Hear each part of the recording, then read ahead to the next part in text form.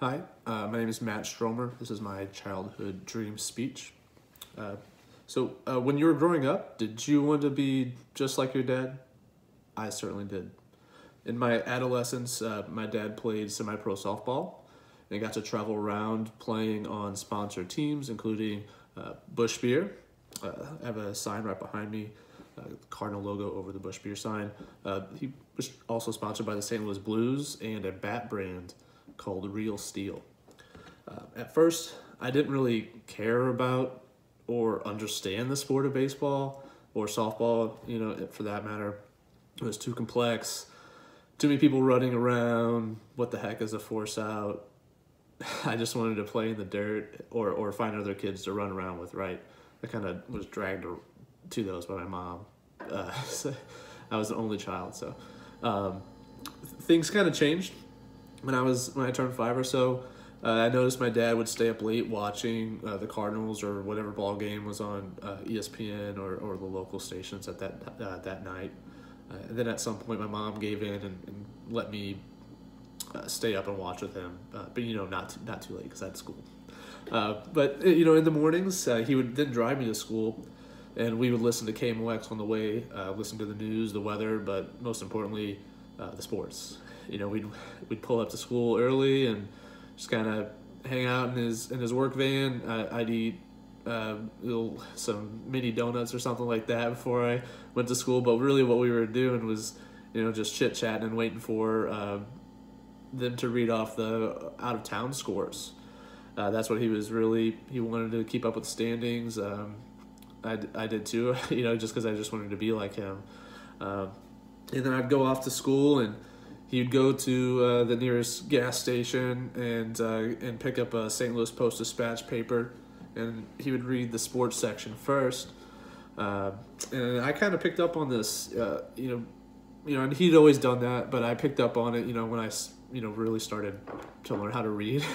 and uh, once I got home from school, I would read the sports section as well. Uh, there was just so much information at at, at my fingertips at the time. You know, I was this is pre-internet days. Uh, we're talking about like 1996, 97 or so. Uh, so like scouring the the box scores or even reading like the recap of the game the, from the night before. I, I love that. I even got to the point where I would cut out the pictures and, and put them on my door of my room and stuff like that. Uh, later later on in that year, I, I, really started playing. That's when I started playing. Uh, I signed up for for t-ball, you know, some you kind of get preset on a team at that point, right? Um, and the following year, we moved to coach pitch. My dad actually became uh, my coach, and I was I was super stoked for that. I worked really hard year round as a, as a kid, uh, just to get better. I love I love the sport at that point. I was I was fully immersed. Um, my dad would work during the day, sometimes long weekends. He'd go out of town for work. So as an early child, like an only child, like I mentioned earlier, I kind of had to get creative uh, in, in, my practice, right? So a couple of things were, you know, very very lonely. I'm sure you could picture this, just tossing the ball up to myself in the backyard, hitting it, and then running and get it, getting it, and then coming back and doing it over and over again. Um, I'd also throw tennis balls off the wall for, for, fielding practice. Actually, I brought my I still have my one of my gloves. This is from. Uh, I got this when I was, uh, shoot, probably 13 or so. Still fits. Uh, just my infielder's glove. I have an outfielder's glove too, but it's in my car for uh, for softball.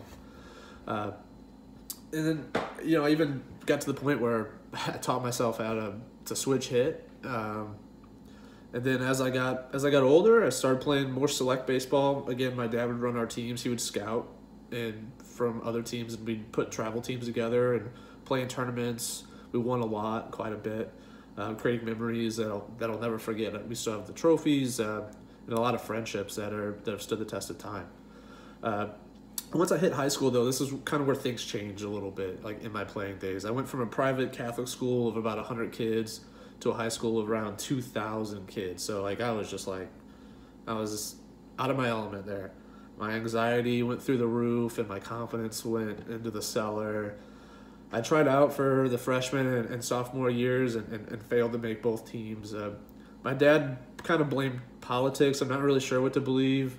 Uh, but I, I, think it was a combination of maybe a little bit of politics, not knowing anybody, uh, and then also like just being like so nervous that I just kind of, you know, balled up and uh, I wasn't myself. So at this point, I kind of knew my my professional dreams were were gone.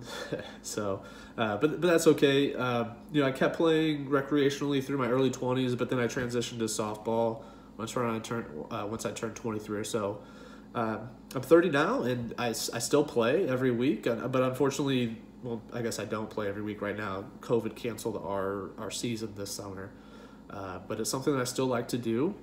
Uh, and in summary, while my dream to become a professional player, you know, like I mentioned, hasn't come true, what I really have learned the most from baseball and, and, and my dad, uh, you know, sharing this game with me is, is the competitive competitiveness and, and the mental aspect of, of trying to gain, you know, on on your opponent. You really because you know you they could be faster than you or you know or whatever, but you know, if you're if you're out thinking them or thinking quicker than they are, you know, you can really, it, it doesn't matter.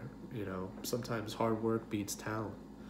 Uh, I I even have uh, I still watch and, and read and, and listen to so many baseball podcasts. I'm, I'm going to watch the uh, league championship series here tonight. Uh, I'm, I'm kind of I'm a huge Cardinals fan as you can tell as you can tell here. These are some of my visual aids, uh, but uh, I, I kind of hope the Rays win and beat the Astros. They I don't like ch- cheaters, especially in, in baseball.